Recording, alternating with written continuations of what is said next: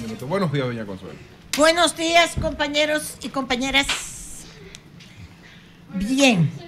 Entonces, Julio César Valentín, muchas gracias por esa invitación para su conversatorio hoy en la biblioteca Pedro Mir de la UAS. Creo que era la toma de posesión.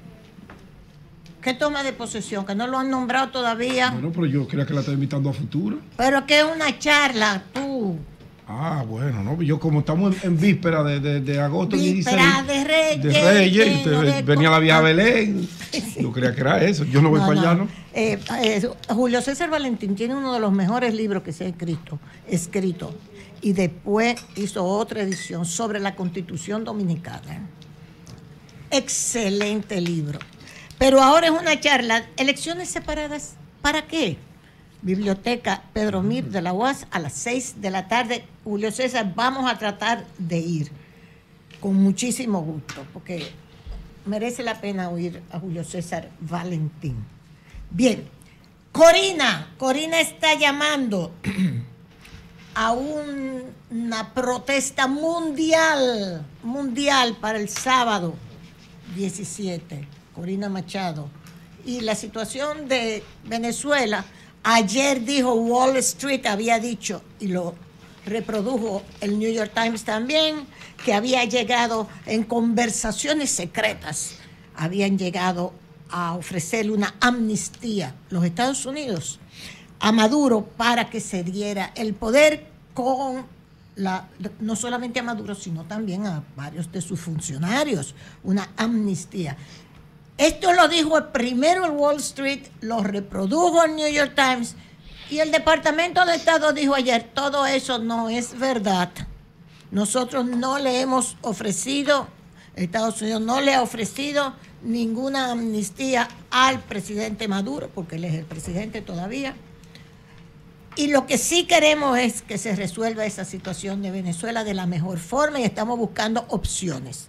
Pero esa, esa propuesta no se la hemos hecho de una amnistía. Entonces María Corina, por su parte, también dice que la mejor opción para Maduro es aceptar la transición negociada. A mí lo que me gusta es que no se está llamando a un espíritu de guerra y de guerra civil, etcétera, pero la verdad que está muy difícil la situación en Venezuela con todas estos inconvenientes. Maduro difícilmente. Ayer me, me narraba al, creo que fuiste uno de los compañeros aquí. Ah, pues, sí, fue uno de nuestros compañeros aquí. Que Diosdado Cabello no es Diosdado Cabello, si Dios le hubiese dado cabello, no. Diosdado Cabello es un jefe de un cártel. ¿Es así, Manuel? Diosdado. O sea, no es tan fácil la situación de Venezuela con estas personas.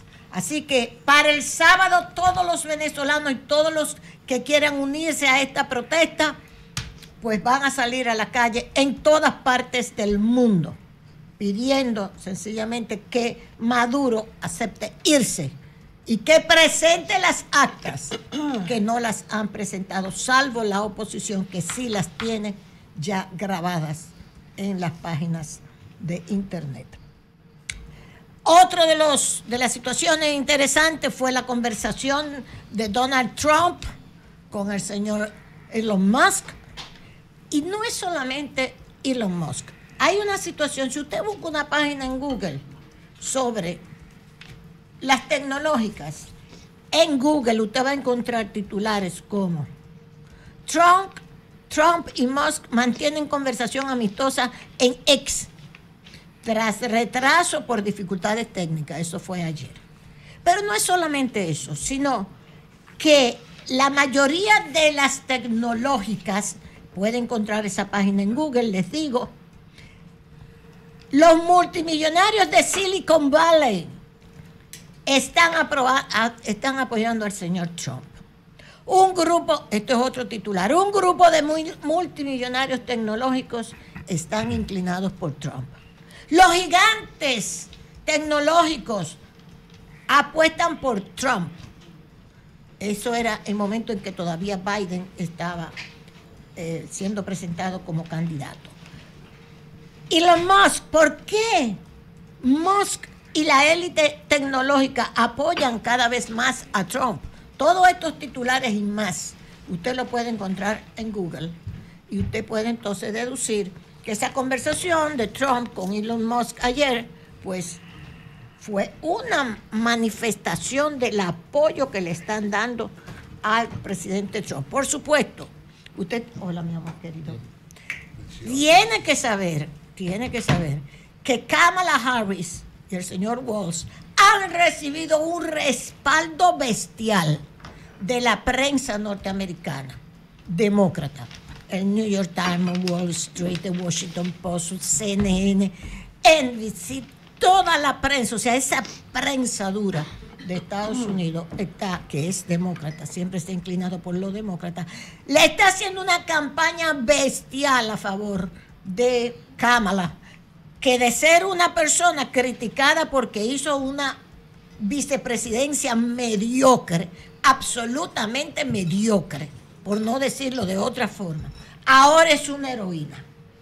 Ahora es una heroína maravillosa y entonces todo esto se debe, por supuesto, al respaldo que está recibiendo bestialmente, bestialmente de la prensa norteamericana, de, que es parte del poder más importante en los Estados Unidos, la banca, la industria militar, la prensa y los laboratorios. Ahí está el poder concentrado de los Estados Unidos. Lo que ellos digan, generalmente eso es lo que va. Y para mí, esto es una opinión muy personal, son los que decidieron incluso salir de Trump porque consideran a Trump, como le decía Biden, un pillo, un cualquiera, un advenedizo, un, nosotros diríamos, un chopo, un chopo de la política, nada. Entonces, pues mátalo y vamos a salir de esa vaina. Para mí, para mí.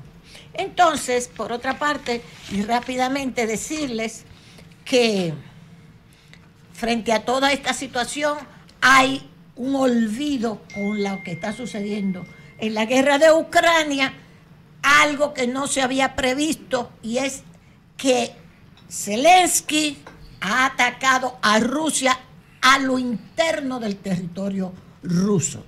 Esto ha dado lugar a unas situaciones que los rusos han tenido que desalojar, si tienes ahí por favor una, una foto que te envié hoy, han tenido que desalojar zonas fronterizas entre Ucrania y Rusia. ¿Cuál es la posición de Ucrania frente a esto y de Zelensky? Bueno, Zelensky ha pedido tanto y ha pedido tanto. Ahí está, eso es parte de, los bombazos y de, de, lo que ha sucedido en la frontera, que Rusia está desalojando eso está en discusión. Cuando quiero decir, o sea, eso está ahora mismo en una situación muy delicada, pero ¿por qué Zelensky hace eso con el respaldo de Occidente que aprobó que Zelensky incursionara en territorio ruso?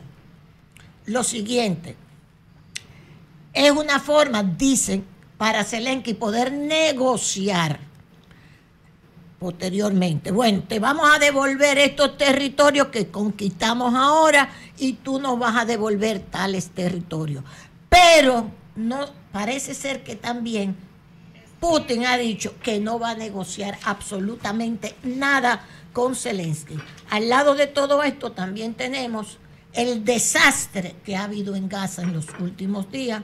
Ahí están, por lo menos, les voy a traer la foto porque esto es muy penoso esto es muy penoso, la 10 escuelas, 10 escuelas bombardeadas, muertos, niños muertos, que están siendo llorados por todos sus familiares.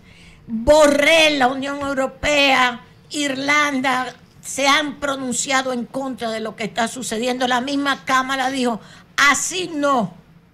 Hay que buscar el cese al fuego. Pero lo que se está esperando es también que Irán ataque a Israel por la muerte del dirigente de Hamas en Irán. Entonces hay un ambiente de guerra en Medio Oriente que tiene como resultado final, además de todas estas tensiones y situaciones lamentables, a donde aparecen escenas desgarradoras en estos sitios que Israel ha bombardeado. Pero como son niños palestinos y estudianticos palestinos, está bien, eso no importa, qué carajo. Pero, indudablemente, que hay algo bueno en todo esto. Ha subido el precio del petróleo, esperando que entonces Irán ataque a Israel. Subió el precio del petróleo. Qué bueno. Gracias, Julio. Bien. Eh, Manuel, buenos días, adelante.